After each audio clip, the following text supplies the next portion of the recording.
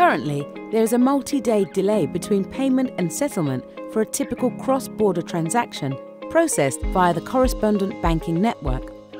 Conceptually, central bank digital currency CBDC can be used to substantially increase transaction speed from taking several days to near real time, while also reducing cost by up to half.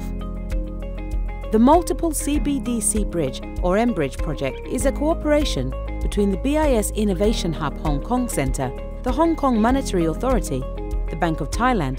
the Digital Currency Institute of the People's Bank of China, and the Central Bank of the United Arab Emirates to enhance the efficiency, lower transaction cost, and streamline the regularity compliance requirements among different jurisdictions by using digital currencies and distributed ledger technology. To further test, improve and expand the functionality of the mBridge trial platform, a total of 22 private sector participants from four participating jurisdictions have identified 15 potential business use cases where CBDCs can be used to speed up payment and settlement. International trade, international trade settlement,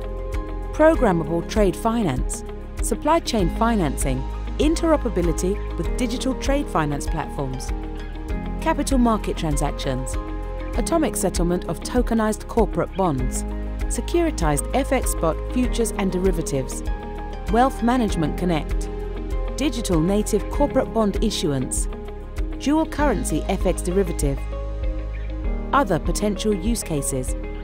insurance payments, commercial payments, cross-border low-value payments aggregation service,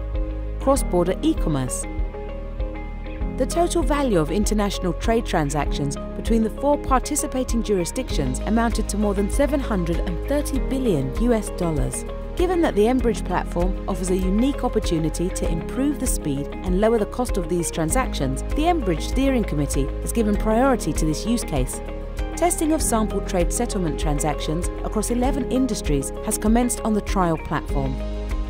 The project is using an agile and iterative development approach combined with a modular bricks design that enables participating jurisdictions to contribute functionality, connectivity and interoperability with standing and future systems. The ultimate goal is to achieve a minimum viable product and eventually production-ready system that can support the full process of international trade settlement and, in due course, other use cases proposed as part of the project.